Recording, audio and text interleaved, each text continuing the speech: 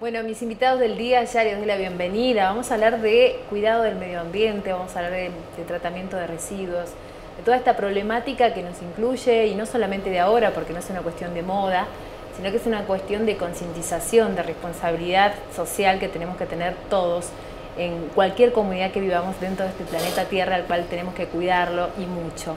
Así que para eso hablamos con, eh, invitamos a Andrea Ochat, concejal de nuestra ciudad, que no está sola Andrea, sino que la acompaña el doctor Franco Montenegro. ¿Cómo están chicos? Gracias por venir al programa. Muchas gracias. Muchas gracias. ¿Cómo surge la idea de que ustedes, Andrea, puedan participar a través de su espacio político de una visita a Firmat, en la provincia de Santa Fe. Bueno, precisamente así, dentro del espacio de, de, compromiso, estábamos analizando una temática que nos preocupa mucho con el resto de los compañeros, con Franco y los demás compañeros, y bueno, eh, hablando, habíamos tenido una entrevista eh, con un funcionario de la provincia de la gestión anterior y él nos comenta esto de que la planta de Sunchales, la que estaba planificada, era similar a la que existía en Firmat. Y nos sugiere, estaría bueno que la puedan visitar. Bueno, sí surgió, la verdad que nos interesó muchísimo poder ir a verla para ver en el lugar en concreto cómo es la planta, cómo funciona, si existen algunos inconvenientes o no, cómo se solucionan. Y bueno, eso fue lo que hicimos, organizamos una visita, fuimos con Franco eh, para poder eh, ver en el lugar lo que estaba sucediendo con esto que nosotros pretendemos que en Sunchales se dé en el corto plazo. Hablamos de la planta de tratamientos del complejo Girsu, el famoso y polémico complejo Girsu. ¿Hace cuánto tiempo que estamos esperando que se pueda llegar a concretar esta obra?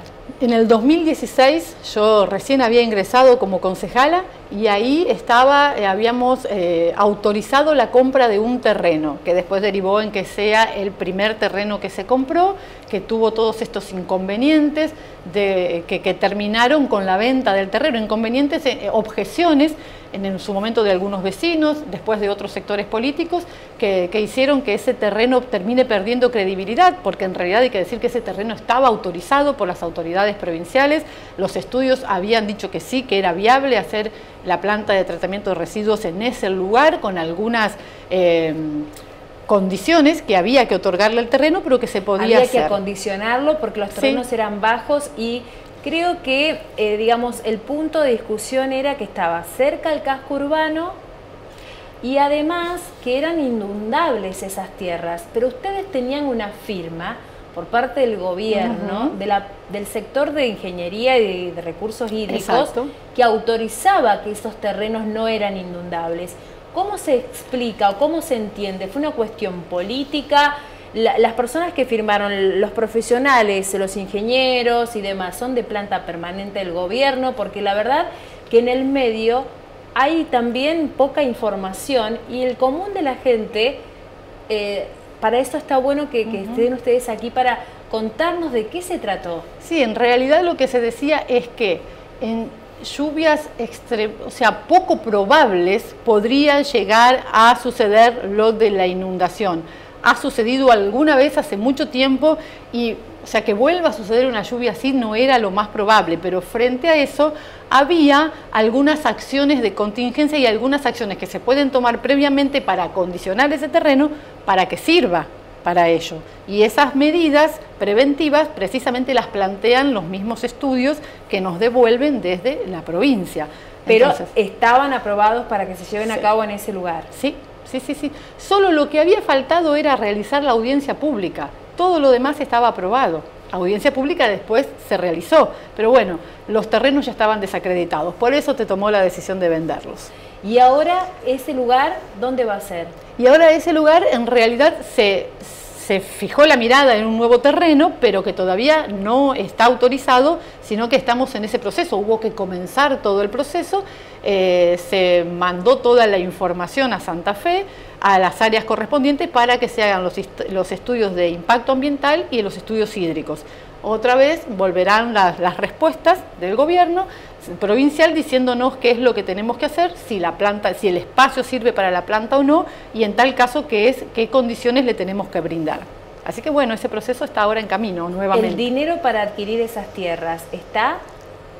Todo eso está, porque por un lado está a la venta el nuevo terreno. Después también hay que tener en cuenta que hay un dinero que el consorcio tiene, que está administrando el consorcio, y siempre contamos con el apoyo de empresas locales. Una de ellas es Sancor Seguros, que siempre estuvo muy dispuesto a, colaborar con, con todo lo que sea necesario para que esta planta se pueda concretar. Así que eso no sería un inconveniente. Y las personas que van a firmar ¿sí? la aprobación del futuro terreno, ¿Son las mismas que firmaron el terreno anterior o hay otros profesionales? Son los empleados, los empleados de la provincia que están encargados de realizar estos estudios. Bueno, creo que mi silencio vale más que mil palabras. La verdad que es, es un ida y vuelta de nunca acabar. En el mientras tanto, Franco, Contame, ¿qué hacemos con los residuos en Sunchales? Porque ante que se apruebe toda esta situación de poder llegar a concretarse el terreno en otro lugar, que se levante el tema de la planta del complejo Girsu, ¿qué hacemos los sunchalenses con la basura? Sí, es una problemática muy, muy importante, está latente en todo el mundo. El problema medioambiental está latente en todo el mundo. Eh, en Sunchales la situación, bueno, muy particular. Como bien decíamos con Andrea, fuimos a firmar y pudimos eh, ver cómo funcionaba la planta de tratamiento en Firmat. Eh, la primera impresión fue muy buena porque había orden, no había, eh, no estaba el olor característico que suele haber acá en Sunchales. Este, está todo amoldado y preparado para la, para la situación. En Firmat ingresan 16 toneladas de residuos diarios que vienen de 8 comunas que conforman el consorcio eh, y un dato muy importante es que de, esas 16 toneladas... ¿Es lo que estamos viendo en imágenes, Franco? Exactamente, así es, así es, exactamente. De las 16 toneladas que ingresan, eh, la mitad aproximadamente se recicla, ya sea en cartón, papel, vidrio, se vende, el dinero que se recauda ingresa para solventar los, los gastos propios de la planta, eh, otra proporción se utiliza para el compostaje, como se ve justamente ahí en la imagen, y por otro lado, eh, lo restante que no se puede reciclar este, va directamente a relleno sanitario, que es lo que va a venir ahora en, la imagen. Y también, bueno, eso es, muy bueno explicarlo, eh, porque justamente en ese relleno sanitario que se ve ahí, eh, abajo hay una membrana que no deja que los residuos que, se ven en, la imagen contaminen las, las napas de agua. ¿Y la, la ciudad de Firmat, de cuántos habitantes estamos hablando aproximadamente? estamos hablando de la, de la, misma. La, misma. ¿Y la ciudad está comprometida en el cuidado del medio ambiente? ¿Realizan la separación de residuos? ¿Cómo hicieron para lograr este tipo de, avanzada ¿no? en cuanto al tratamiento de residuos. En dos meses que está funcionando la planta ya lograron el 60% de adhesión de la gente a la separación en origen, o sea, la gente en sus domicilios ya está separando, con lo cual los residuos llegan a la planta ya con una separación previa, facilitando además el trabajo de quienes eh, realizan la separación en la planta, pero además salvando previamente muchos residuos que si no en el trayecto se arruinarían o se, ensuciarían y no podrían ser eh, fácilmente vendibles. Una cosa que quiero agregar, que la cinta que estamos viendo ahí en imágenes es exactamente igual y eh, producida, construida por la misma empresa que ganó la licitación en el año 2019 aquí en Sunchales y que construyó nuestra cinta, que ya está pagada, terminada, esperando ser colocada en algún terreno. Bueno, ellos tuvieron también problemas con respecto a elegir el terreno para hacer su planta de tratamiento sin firmar. ¿Cómo hicieron ellos localizar este lugar sin que haya tantas controversias. Ellos, bueno, al lado, en las imágenes no se ven, pero al lado tenían este, la planta anterior, que es muy similar a lo que era acá en Sunchales, y nos comentaban que no fue muy problemática la elección del lugar porque está pegado eh, a, la, nueva planta de tratamiento. Exactamente. A la que se utilizaba a lo mejor como a cielo abierto, se transformó en un lugar, en un complejo ambiental. Ellos tenían esa posibilidad porque el terreno daba, o sea, la, ciudad no se extendió hacia ese lugar como nos ha sucedido a nosotros, que fácilmente la, población se va acercando porque es nuestro polo de desarrollo ese sector, ¿no? Sí. Ellos tenían una situación diferente, por lo tanto pudieron adquirir los terrenos que están al lado y ahí instalar la nueva planta. Y eso les permite también continuar trabajando con la planta antigua en su refuncionalización situación que no tenemos aquí en Sunchales por la actual ubicación de nuestra planta. Por eso tuvimos que ir hacia otro sector que no es hacia donde va la población. Exacto. Y hay una controversia importante también, Andrea, creo que vos también fijaste una postura al respecto con este proyecto que se aprobó del concejal Oscar Trincheri, de la actual planta de tratamientos, con respecto a que haya bueno, una guardia permanente en el lugar o cámaras de seguridad.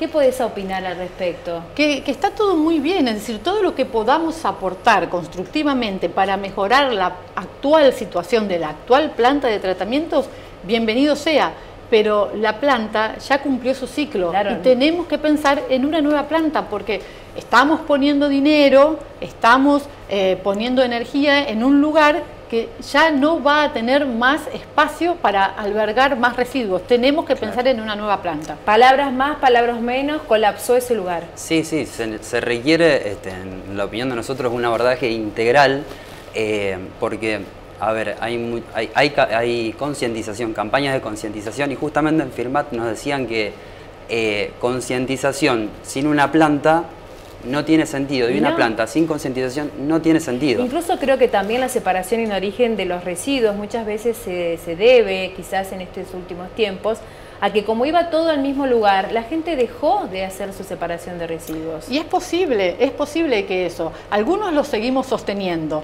porque es una práctica ya incorporada a, nuestras actividades cotidianas, pero otras personas creen que no tiene sentido y lo han dejado de hacer.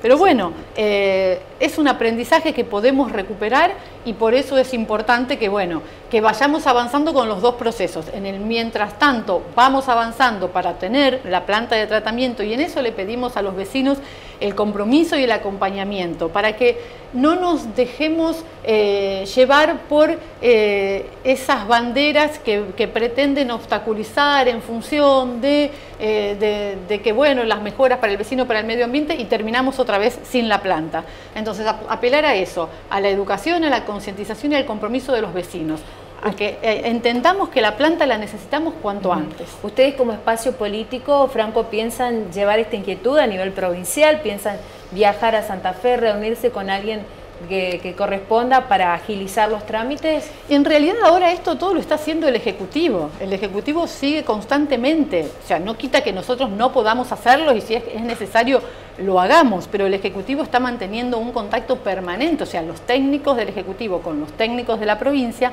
porque es un trabajo que se va dando conjuntamente. Eh, se van bajando las directivas, van pidiendo más documentación, se va trabajando de manera conjunta, el contacto está. Así que bueno, obviamente que desde nuestro lugar lo que podamos eh, hacer siempre estamos dispuestos a ello, por supuesto. Tengo mensajes de parte del público.